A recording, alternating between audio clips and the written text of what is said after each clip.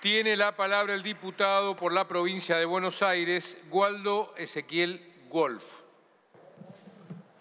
Gracias, presidente. Voy a citar una frase, si me permiten los colegas, enfrente del general Perón. Decía, la única verdad es la realidad. Y si me permiten, le voy a contar lo que pasaba en diciembre del 2019. La mínima era de 14.067 pesos con 93 centavos equivalía a 241 dólares. En diciembre del 2020 la mínima de 19.035 y equivale a 131 dólares. Han devaluado el 95%, esto es indiscutible.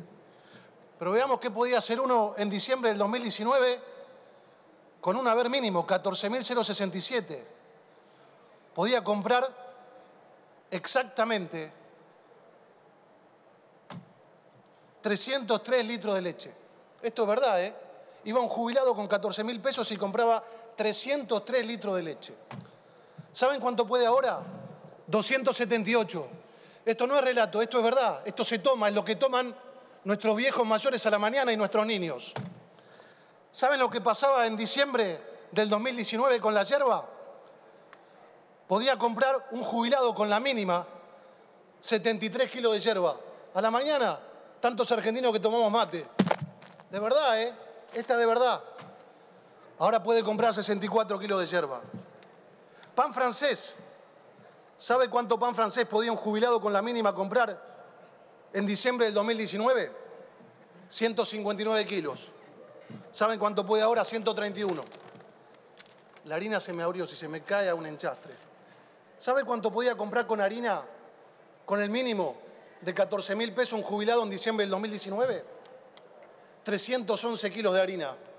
¿Saben cuánto puede ahora? 264. Me guardé el último para el final. La carne. Atrevido. Traje el paquete nada más porque me daba vergüenza ir con carne por la calle hoy. Un jubilado con la mínima en el año 2019 podía comprar 79 kilos de carne. Hoy puede comprar 40.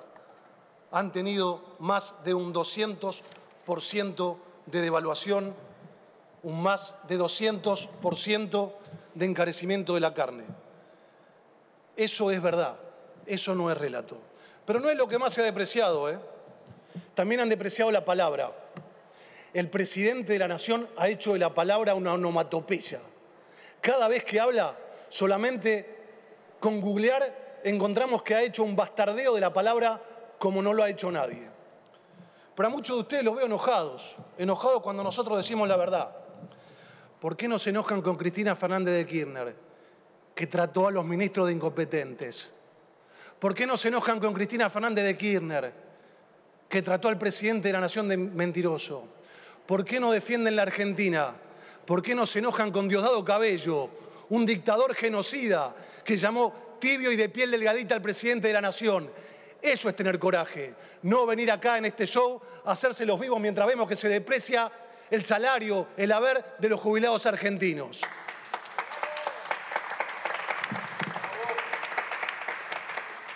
Otra de las cosas que ha perdido su precio, señor presidente, es el valor de las piedras.